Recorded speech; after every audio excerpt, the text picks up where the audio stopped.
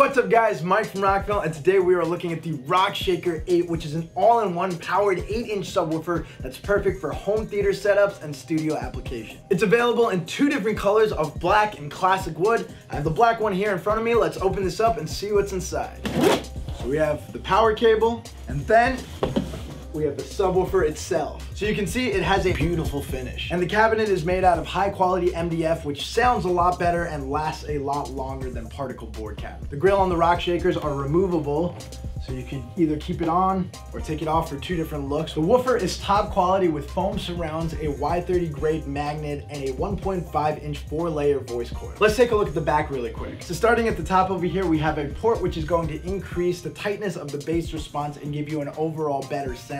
We're using a Class D amp plate to run the subwoofer efficiently. Starting on the amp plate itself, we have our on and off switch. Then we have our master volume knob, which controls the overall signal going out of the subwoofer. Below that, we have our frequency knob, which is a low pass filter. This basically is going to remove any frequencies above the point I set it to. So for example, if I set it to 60 Hertz, this subwoofer is going to play anything 60 Hertz and below. Moving on, we have our line RCA input, so you can input signal from a home theater receiver or a studio interface, depending on what your setup is. Then right next to it, we have our line RCA output, so you can keep sending the signal to whatever else is in your setup. Below that, we have a phase switch, so you can switch it between 0 and 180 degrees to make sure your subwoofer is hitting just perfectly with the rest of the speakers. Then below that, we have our auto on and off switch. So if I set the switch to on, the subwoofer is going to be sleeping until a signal is present. This is very convenient because you don't have to go and turn the subwoofer on and off every time you want to use it. And then over here, we have our high level inputs and outputs so you can run signal directly off of speaker wire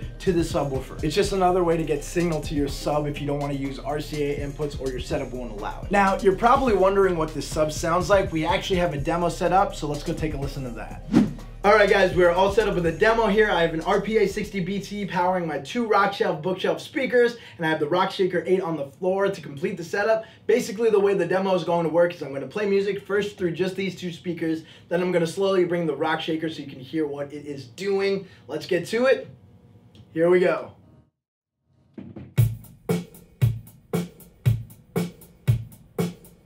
Okay, sounds good. I'm going to bring the Rockshaker now can hear the difference. yeah! It's such a completely different sound. Without, with it. Hear it's a lot more detailed